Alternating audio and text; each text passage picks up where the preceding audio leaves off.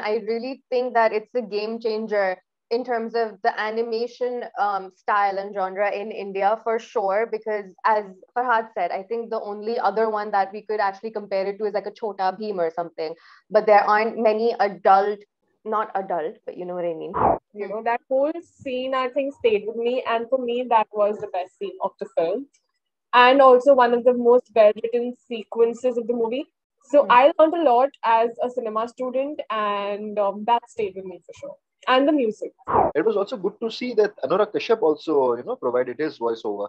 Hmm. Uh, for this movie, along with I think Makarand Deshpande and uh, Virendra Saxena also. It made the movie all, uh, a lot, you can say, melancholic, uh, especially towards the end when the sequence of events uh, that transpire. I won't reveal any spoilers. I want everyone to go and watch this. So. Everyone.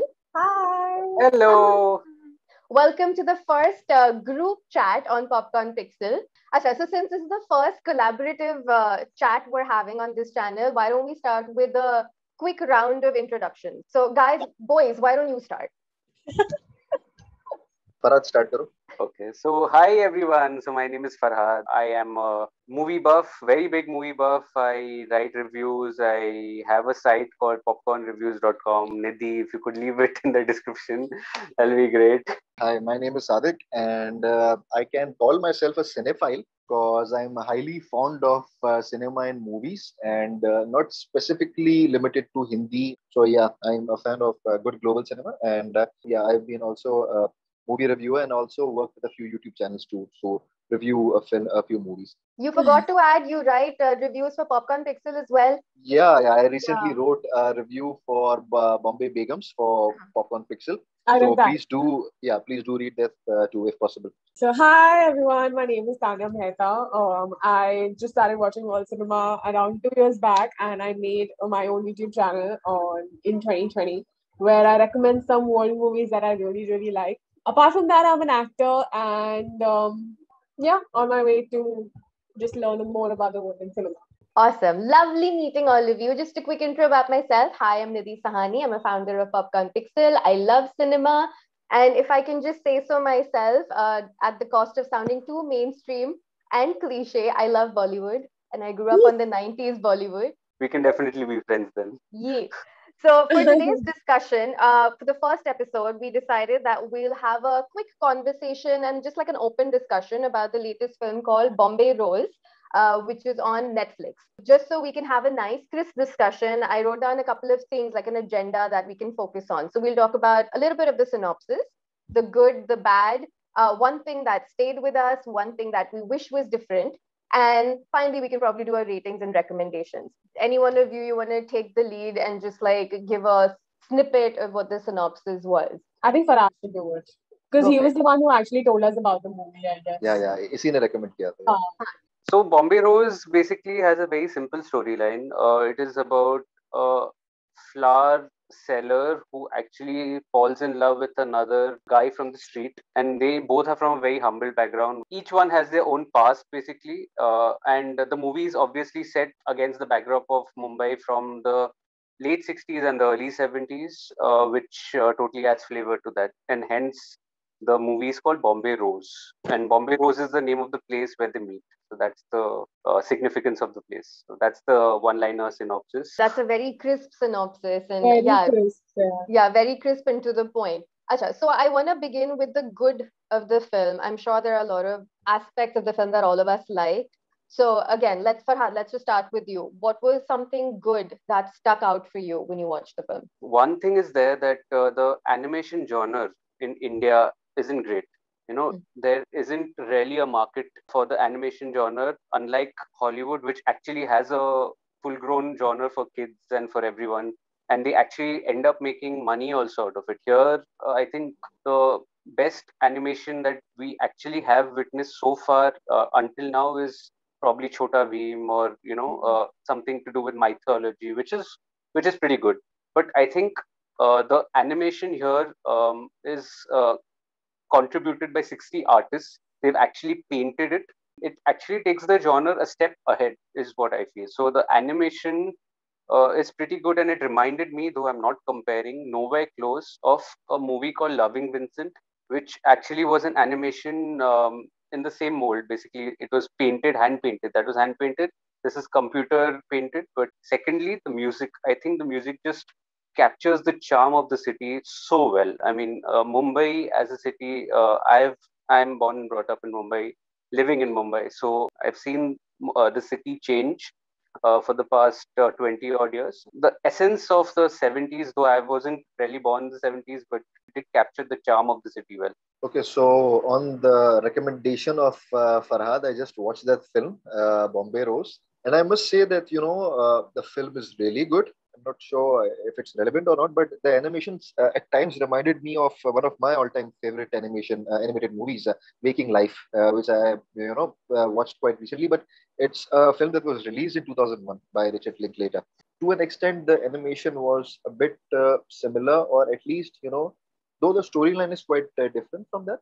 And apart from that, you know, the two characters, Kamala and Salim, they were really good. I really loved the chemistry between them and it was quite simple and quite realistic because at times it didn't really look like that, i'm watching an anime, uh, animated movie because i was you know so you know deep into the characters. I mean the, the way that gitanjali rao directed the film it was so good. It was also good to see that anurag kashyap also you know provided his voiceover mm. uh, for this movie along with i think makarand deshpande and uh, uh, virendra saxena also. So um, i like the animation of the movie. I love the music. I think it was very 70s bombay and I really like the music. Apart from that, I liked how there were some scenes which were very artsy and very cinematic and only if you probably watch a lot of films you could relate to it so i like that it was a little complicated as well mm. uh, so yeah these are the things that i liked about the movie I'll just add to a little bit to everything that you said, which is not very different. I love the animation. I really think that it's a game changer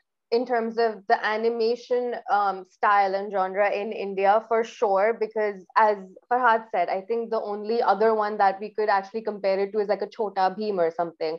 But there aren't many adult, not adult, but you know what I mean, uh, animation for adults uh, in India. So that definitely agree with you. The music for sure. I mean, that one song that kept on playing throughout the film, I think it was Reva, Reva karke kuch tha, right? That every time it came on, like it gave me goosebumps. And I was just like, I kept reading the subtitles. So I was like, I feel like there's a deeper meaning to it. And I, I wanted to keep listening to it over and over again.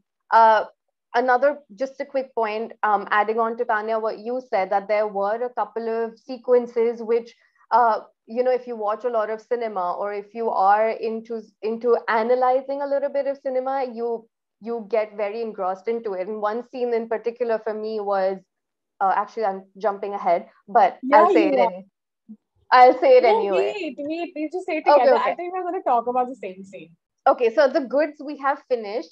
How about we go in an anti-clockwise now and we talk about the the bad or the not so good uh, that stood out for us. Story is something I really did not enjoy. I was really hoping for a path breaking, interesting, unique story to to basically be backed by such level of making.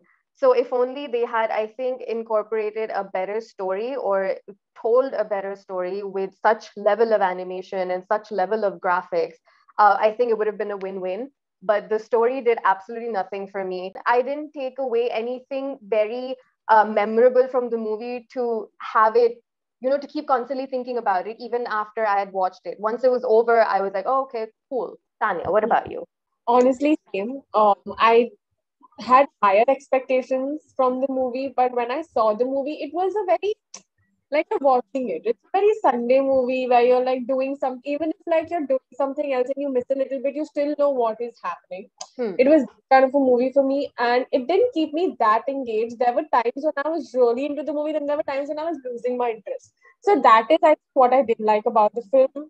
And apart from that, the relations were good, but I don't think I felt very emotionally connected to mm.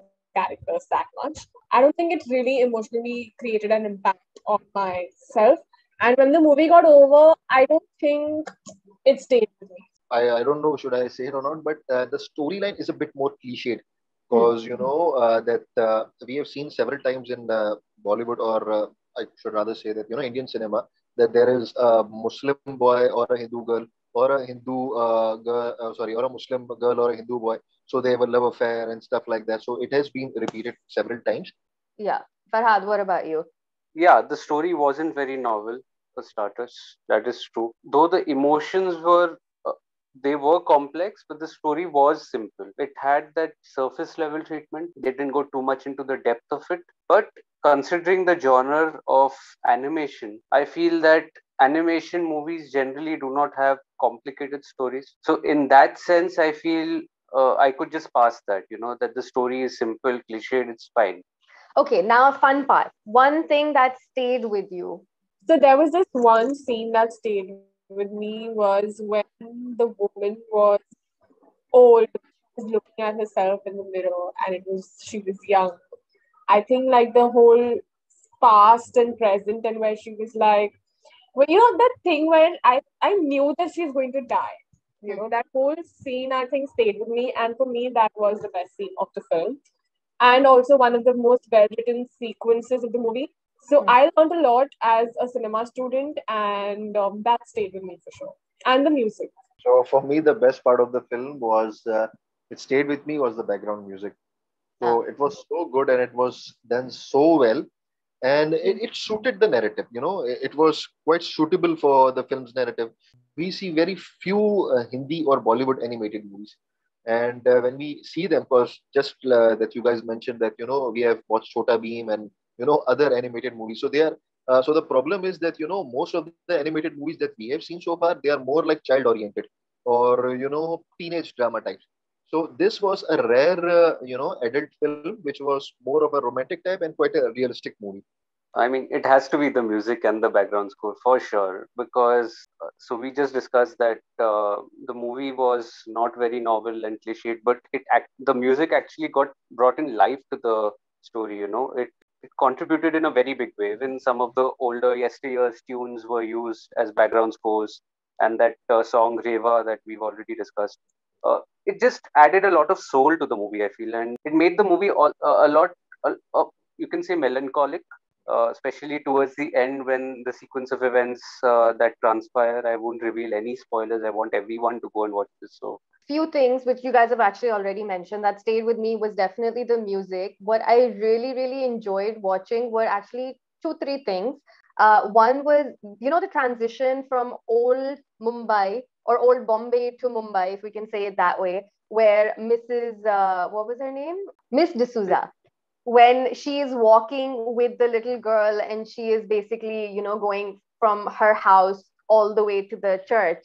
And that is when the animation shifts from black and white to color and then color to black and white. And there's a song playing in the back. I think it was dil tadap tadap ke keh raha hai.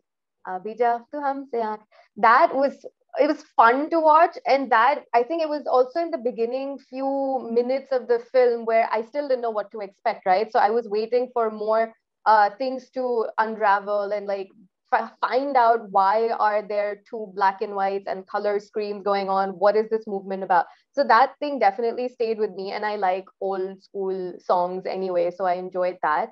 Uh, the other thing that stayed with me was the symbolism uh, which was unfortunately only used very rarely in the film. The guy who's the pimp, I think his name was Mike. Whenever he came into the frame, it was it was a vulture converting into him and then converting back. So right off the bat, when that happened, I think in the first 10 minutes of the film, I was like, oh, that's interesting. Like he's the vulture in her life. Like he's going to destroy her life or he's that pain point in her life. And I wanted to see more. Unfortunately, there was no more into it. Coming to a quick closure, uh, one thing that you wish was better, and we've already spoken about, we wish the story was better. So something apart from the story that uh, you wish could have been better. I I wish the story was a little more complete.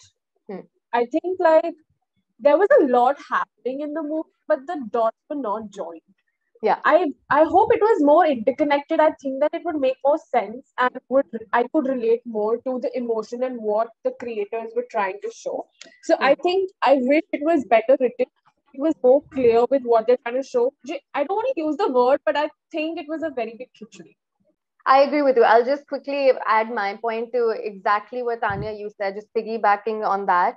It was a khichdi. It wasn't weaved together. Like there's one story which is about Kamla and uh, Salim. Then there's one story about Miss D'Souza and her, you know, her forgotten love, forgotten life, all of that. Then there is a perspective of spoiler, I guess, perspective from the Rose.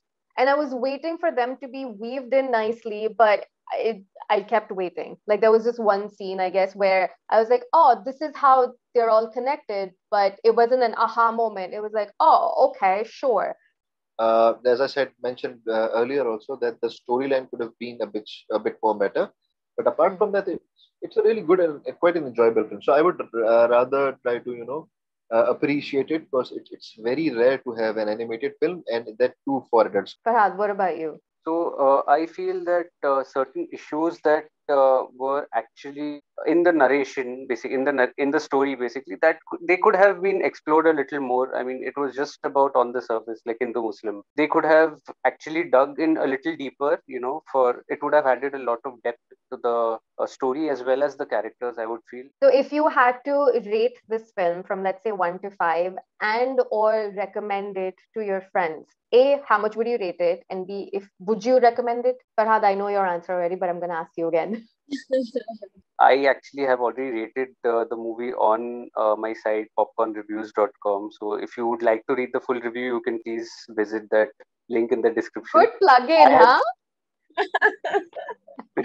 I have rated it four and a half, uh, okay. simply because I just uh, let few of the flaws uh, pass by because such films are a rarity and they need that kind of push. I feel um, the hmm. animation genre, the music, the, the animation for adults. Um, so, I mean, I would definitely recommend it to everybody. Uh, mm. Four and a half it is for me out of five.